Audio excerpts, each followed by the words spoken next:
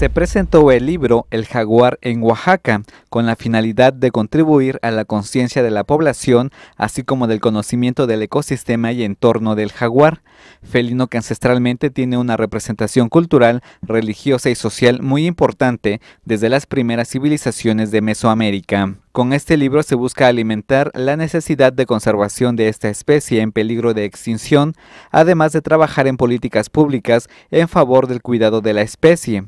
A decir del coordinador del libro, Alfonso Aquino Mondragón, en la cultura mije de Oaxaca, el jaguar tuvo vital importancia, representado en las pinturas rupestres de la región. En ninguna otra cultura mesoamericana tuvo tanta importancia el jaguar, al grado de que se pretendió generar una nueva raza cruzando la especie humana con la especie felina llamada jaguar pantera onca.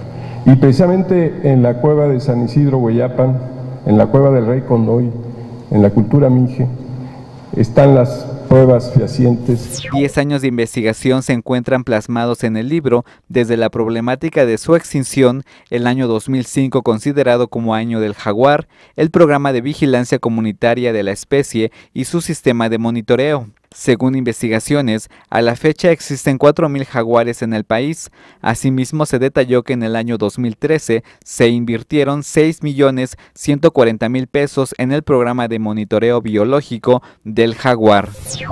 Un extraordinario esfuerzo editorial que ofrece a nuestra sociedad y en especial a los niños y a los jóvenes el valor histórico, natural y cultural de una de las especies animales más emblemáticas de nuestro continente, de nuestro continente, que es precisamente el jaguar.